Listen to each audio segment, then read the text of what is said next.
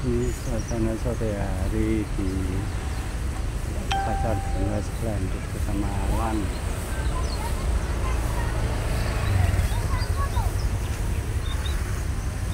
Berbagai macam bunga tersedia di sini yang terletak di tengah kota Malang.